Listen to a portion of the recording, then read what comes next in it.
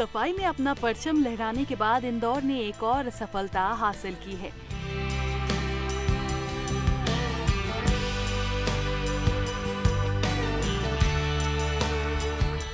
आवास और शहरी विकास मंत्रालय ने देश की स्मार्ट सिटी के कार्यों के आधार पर 13 सितंबर को रैंकिंग जारी की, जिसमें इंदौर शहर देश के टॉप 10 स्मार्ट सिटी वाले शहरों में है।